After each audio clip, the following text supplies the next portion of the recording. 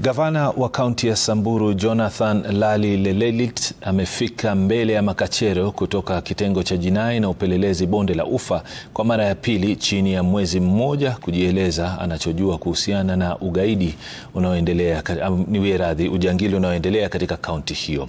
Lelelit alisalia kwenye afisi za mkuu wa kitengo hicho kwa dakika ishirini pekee kabla ya kuruhusiwa kuondoka. Kulingana naye, mahojiano ya mara kwa mara na makachero hayataleta suluhu ya uvamizi unaoshuhudiwa. Hapo jana watu wawili waliouawa uh, katika vijiji viwili huko Samburu Magharibi. Haya yanajiri wakati ambapo waziri wa usalama Kithure Kindiki akisema kwamba maafisa zaidi watapelekwa katika maeneo yaliyoathirika na mapigano ili kurejesha usalama.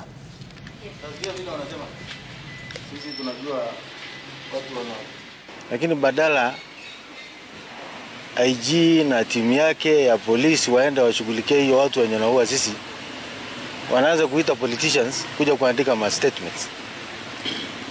Not just politicians but victims. Mimi am a victim. Watu wangu ndio wanauawa. So why would I come here? Mimi nakuja kuandika statement kusema tuko na masishi kesho. Mwingine hapo Mashhad. Mwingine anauawa leo ama story kama hizo. So why am I here? Why are we, why are we, instead of us being hiyo kusaidia watu wenye wanapigwa kila siku na tuleta hapa tukuje tu. Ni aibu kwa Kenya yetu, nchi yetu ya Kenya.